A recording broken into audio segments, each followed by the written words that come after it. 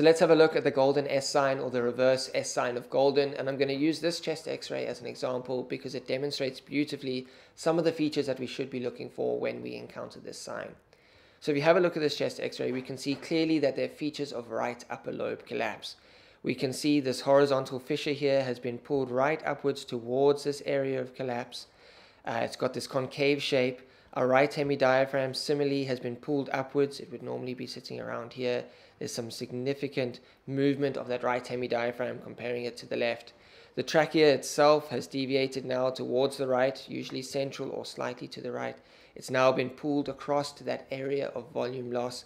And the rib spacing here has become crowded in this local area of volume loss. If we have to compare it to the other side, we can see that there is a difference in the rib spacing on contralateral sides.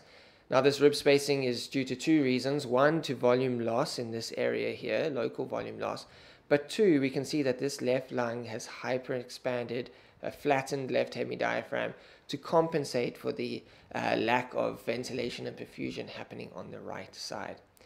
Now we can see here that this concave shape to this uh, horizontal fissure with that pulling up or volume loss in that right upper lobe reaches an inflection point and then becomes convex. And this is the S that we are looking for, the reverse S sign of golden or the golden S sign.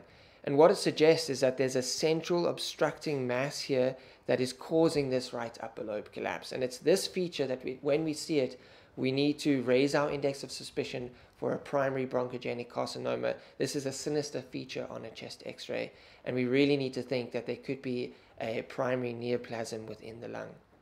Now, another reason I like this x-ray is because it brings up another point, and that's satisfaction of search. Now, as a radiologist or a clinician looking at this chest x-ray, it's easy to find an abnormality like this tick the box and be tempted to move on to the next patient. But as a good radiologist, we need to go and examine the rest of the film and look for other features, especially when we have a suspicion of an underlying etiology of a neoplasm or something that, that could be metastatic. We need to go and look for features of metastasis. And sure enough, if we look at the distal clavicle here, we can see that this distal portion is, has got this lucent or lytic lesion here and as well as looking at the 10th rib, if we follow it down, I don't know how well it projects, we lose the cortex here, and this whole area here, we can't see the 10th rib before it continues again. And that is another feature of potential metastatic disease. Now, this patient needs further workup. We can't go and sit back and follow this patient up. This patient now needs a CT or something to investigate these features further. So I hope you've learned something today or at least consolidated some of your knowledge. YouTube thinks you will like that video over there, so why not give it a watch? Otherwise, I'll see you all in the next video. Goodbye, everybody.